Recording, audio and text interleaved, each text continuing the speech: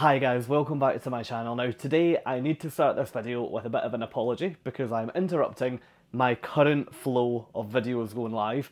If you haven't found my channel before then, I'm currently spending all of the year living back to back as a passenger on cruise ships. Now today I have boarded MSC Meraviglia, which is an MSC cruise ship over in New York.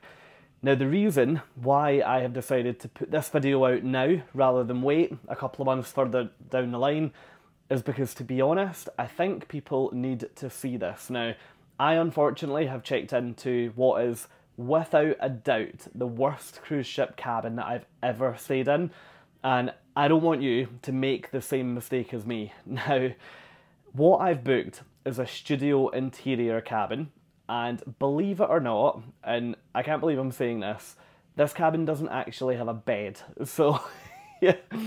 Oh, honestly, guys, I never thought I'd see the day. So, anyway, look, let me take you out into the corridor and let me walk you around cabin 10004, which is all the way at the front of the ship. Let me know down in the comments if you would stay in this cabin or if you, like me, would explore other options and try and stay elsewhere. And look, if you do find this video useful and if you enjoy seeing a little bit of what my life on cruise ships looks like, then yeah, come and join me. So click the thumbs up down underneath and then while you're there, it would be amazing if you would consider subscribing to the channel, which you can do directly underneath as well.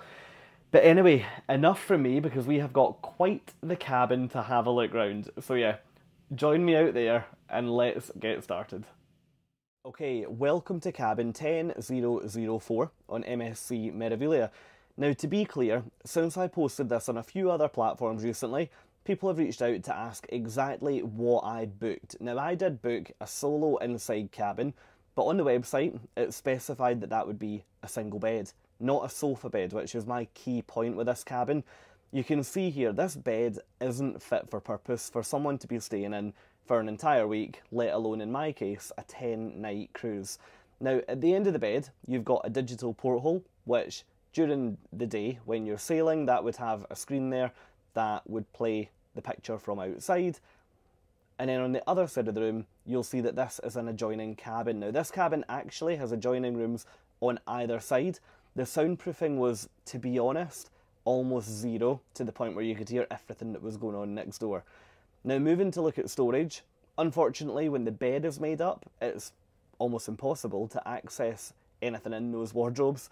Now, if I go around the other side to show you on this side, then that's okay, great, we can reach the hanging space, we can reach the safe, but the drawers, you're going to have to come back to access the drawers when the bed is pushed back in. So that would be solved with a sliding wardrobe, so I'm not entirely sure why they've got the opening outward doors in this cabin. Now, underneath the desk, you've got your minibar, and then you've got one drawer, which, apologies, that's got some of my wires in by this point, but you can use that just to store various things, and your hairdryer is under there as well. Now, you've then got your phone, you've got your TV, and then you've got your ice bucket and a couple of glasses up there that you can ask to get filled up whenever you need. And then you've got your desk where plug points. So on the left, you've got your two European plugs and your one USB and over on the right, you've got two American plugs. Now, underneath the desk, you've then got a little stool, which to be honest, you can't use that if the bed is set up this way. So, all round, a bit of a strange room. I just, I, I can't really believe this is set up as a cabin. Now, you've then got a full length mirror on the far wall there. And let me take you in and show you the bathroom. Now, this part of the cabin, I've got absolutely no gripes about. This is exactly the same as many other cabin grade bathrooms that I've seen on MSC ships. And actually, if the cabin was as good as the bathroom, I would have been perfectly content in my cabin. Now, what I would say is that this cabin fell short on so many of my expectations.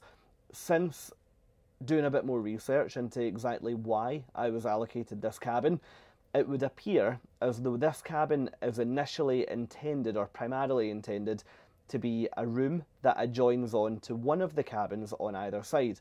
So, for example, if you're a family cruising and you book a cabin on one side of this room, you would then unlock this and it would serve as a sitting room or a temporary bedroom.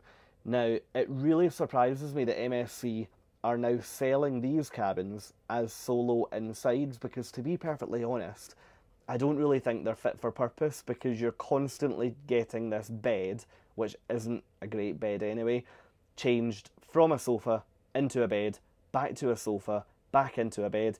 If that was just a standard single bed, it would be nowhere near as bad.